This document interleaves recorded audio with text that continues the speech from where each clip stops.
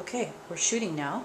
So this is actually a uh, Lane table that I got from my mom. Um, she purchased this back in the 60s, so it's a Lane table. It's of Danish style, as you can see, and um, it's a nice piece that I'd like to get uh, refinished. And actually, what Rob has suggested, instead of stripping it, he's going to restore it for me. And I'm very happy about that because I love the finish that it that's on it already. I don't want to change the look or the finish. So um, if you look closely, there's some damage on the top here of the piece where um, that's actually, um, my mom used to stand there with her hand because the telephone used to be uh, right at that end of the buffet.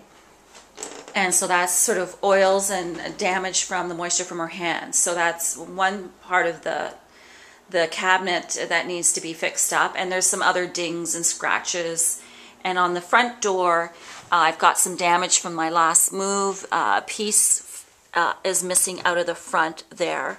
And so Rob is going to uh, refurbish this and restore it and re rejuvenate it for me. I'm very happy about this.